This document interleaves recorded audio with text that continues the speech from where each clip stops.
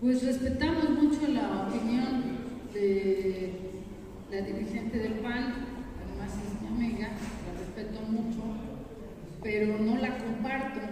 No la comparto porque incluso en esta alianza que hubo, muchos priistas no se sintieron identificados eh, con los panistas, con la alianza. ¿Por qué? Porque borraban nuestros colores, quitaban ahí nuestros colores y obviamente eso perjudicó.